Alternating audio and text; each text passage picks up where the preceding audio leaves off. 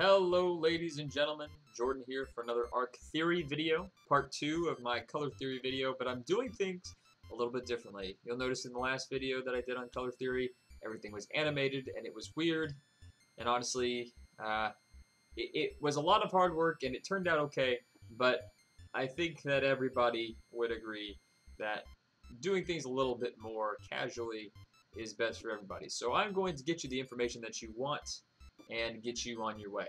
Now, uh, if you haven't heard, there's this new augmented reality game to be released sometime this year. They said early 2016. Obviously, that's not going to happen. But uh, Pokemon Go. is being uh, worked on by the the company Niantic Labs, which used to be a part of Google. Now they're their own company and they make AR games. So their last game, uh, their biggest game, claim to fame, was the game Ingress, and uh, Ingress is very popular. And as far as augmented reality games, it's hard to really beat the concept behind uh, Ingress. And so we used that in the last video as an example of how color theory does, in fact, play a role in uh, how we play augmented reality games. And, and it definitely, the, the proof really stood. Uh, it's really hard to, to disagree with the evidence that colors do affect uh, the way that we work and the way that we play a lot of games, but specifically in this case, Ingress, and I think on a broader scale, augmented reality games. So if you question the validity of anything that I'm going to say here in a second, uh, go back and watch that if you can sit through it.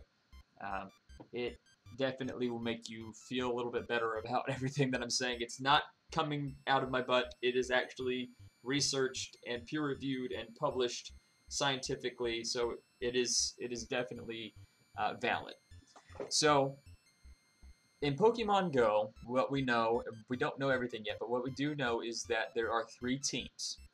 And those three teams are the red team, the blue team, and the yellow team. Now, I did a little bit of research into Faber Birren's color theory on these three particular colors, and I have to admit, um, it's a pretty wide gambit of, of things that are associated with each of these colors. And uh, we did cover we did cover we did cover blue in the last episode, so you guys know a little bit about blue and, and its color associations right now. But red and yellow, uh, those two I'm gonna have to go over because I really didn't have a reason to touch them in the last episode. So to briefly go over the blue team, blue is associated with uh, trust and strategic thinking and focus and a lot of other wonderful things. And because of that, it is it is the it is the favorite color of almost half of the population. So, and nothing is really even close to blue. Nothing is anywhere comparable to, to what blue is in society. So, uh, I think part of the reasoning for that is all the positive emotions and associations we make with the color blue. So it's easy to just pick that as a favorite color because why on earth do you need favorite colors anyway? Uh, but that is that is kind of one that people go to. It's just the the default, I guess. So that makes sense, you know. Uh, but that does mean that if people start picking teams based completely on favorite color, then blue is going to be very beefed up. When I first started doing the research, I thought that red would be kind of close, but it wasn't. It's just red is just so far behind blue that, you know, uh, if we were picking just on favorite colors, I think that red would have a hard, hard time. But because there are a few more factors here, and I'll explain some of that in a little bit based on some of the statistics that we have, uh, I think that red will be a little bit beefier, but um, we'll get into some of those color associations as well. So what kind of gameplay will the blue team play? Blue team is probably going to want to play, or was probably going to play, not wanting to play, uh, strategically. Um, they're going to sit down and figure out what CP they need to put on a certain a certain gym, trying to balance the gym out a little bit and, and try to train it up the best that they can, and uh, try to use just the, the right mixture of Pokemon. So, and because we know that typing is a thing in this in this new game, uh, we've learned that from the beta, then we have to really pay attention. You know, Blue Team's going to be really paying attention to those kind of things like typing and everything, trying to um, find the, the perfect balance of, you know, water, fire, grass, ground, all that kind of thing. uh, figuring out what most people have, you know, running the strategy basically. Uh, and that's going to be them. They're also going to be the most populated team. Um, rough estimate, probably put them in the upper 30%, um, like 38 or 39. And that's not outrageous. I'm, I'm just trying to be realistic here because I'm not going to say that they're like 56%. You know, that, that would be bigger than, you know, both teams combined, and that's just ridiculous. I, I'm not going to go that far. But, you know, 38 or 39%, that's still being pretty pretty big. That's, and then that's being generous.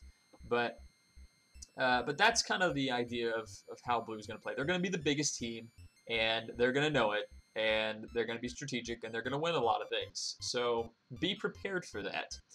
Also, um, the red team. Let's talk about the red team real quick.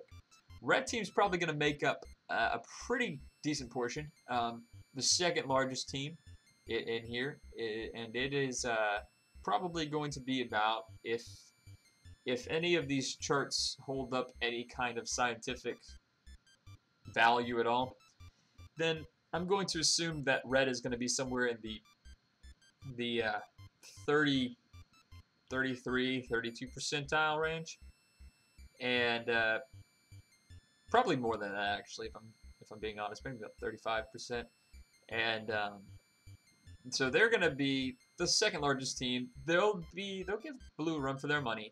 But um, what we know from color associations and, and Faber Birren's color associations are that red is associated with speed and courage and fear and aggression. So all of those things tell me that they're going to just be the go-getters. You know, they're going to see something, they're going to go want to take it down. They're going to just get a group together, be spontaneous, you know, that kind of thing. Uh, they are going to be a force to be reckoned with if they get their mind set on something. And uh, I think that that's that's probably a fair estimate. Now, of course, there's always going to be exceptions to that. Um, keep in mind that most of these color associations are just generalities. These are not like every single time this is how the teams are going to be. So the red team is probably going to be very aggressive. Um, they're going to be quick. They're going to be um, precise. And uh, kind of barbaric. I don't know how else to describe it, but that's just the best term that I can think of to come up with it. Because if, when you have courage and fear and rage and speed all thrown into one, it's just what I think of. So um, all these color associations combined would show us that red is is going to be a team that will really uh, dominate at certain tasks, which means that they may do really well at live events. I don't know what the, the setup of the live events are going to be yet, so there's really no way to know uh, how they're going to do. But if this mentality persists and, and all they really have to do is, is go out and catch Pokemon and get points and catch gyms, things like that, they're going to do great. So that's good. Now let's talk about let's talk about the elephant in the room, and that's the yellow team. And it doesn't matter how you cut this, the yellow team is gonna be the smallest team. It could be anywhere from like, and I'd hate to say it, but like 20% to to uh, maybe like 20 five percent. You know, it's it's the smallest team by far, uh, and I think that there's a few reasons for that. One, uh, yellow is, according to Faber Birren's research, the third least favorite color, generally speaking. Um, that is behind brown and orange. So if that doesn't tell you that people are not necessarily going to just jump out of their way to pick yellow, I don't know what does. Also, some of the color associations of yellow are uh, things that are cheap or inexpensive, uh, things that are cowardice, um, maybe things that are uh, shallow, things like that, eh, or, or superficial. Um, so uh, that that doesn't really help yellow's cause much. Now, the one thing about yellow that really could help help them gain their numbers is that yellow is associated with fun, which interestingly enough, is how they ended up putting it into the uh, the logo, the original Pokemon logo, um, back in the anime. That Pokemon logo had a, a yellow fill for the text because at the time, marketing researchers were finding that yellow was associated with fun and kids, they wanted it to associate kids with fun and things like that. So, um, all that to say, because these are the three main colors of the entire franchise, these were the only three colors I really could have picked, honestly. But um, yellow is going to be the smallest team by far. Um, now, if you want to pick yellow, that's actually not a, not a bad choice because um, they have done a little bit to fix this, but you'll notice that in these kind of games, you know, if you're if there are a lot of blue team players and you're a blue team player, you're you're a small fish in a big pond. And by that I mean it doesn't matter how hard you work, there's gonna be bigger fish in the sea. Okay, you're never gonna be the creme de la creme in your team. It's just not gonna happen. You're also gonna have a hard time probably getting points. You're not gonna be able to, you know, uh, go out and just capture a gym because most of your teammates will have already captured them.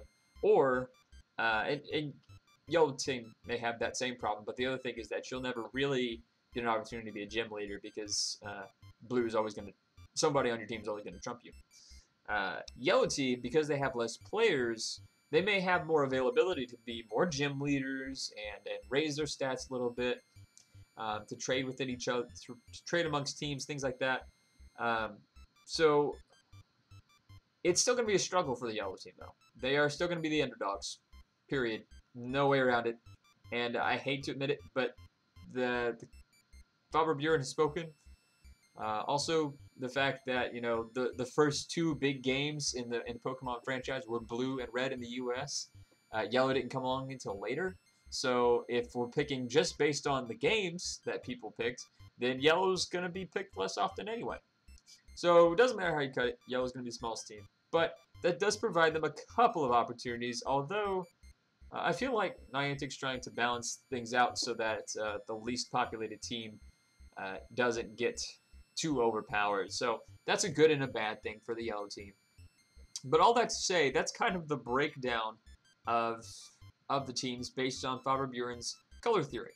Uh, now, like I said, there are exceptions to every rule, and these are meant to just be generalities. When we looked at Ingress, we looked at both of the factions, we realized that both of those factions did have a lot of exceptions, but at the end of the day, the overall stats proved uh, that their color associations did play a role in how they played the game.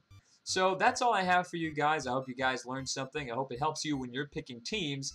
And uh, and I'm excited for this game to come out because I'm excited to see how things go. And because of the predictions that I've made, I'm interested to see how they play out. Thank you guys so much for watching, and good night.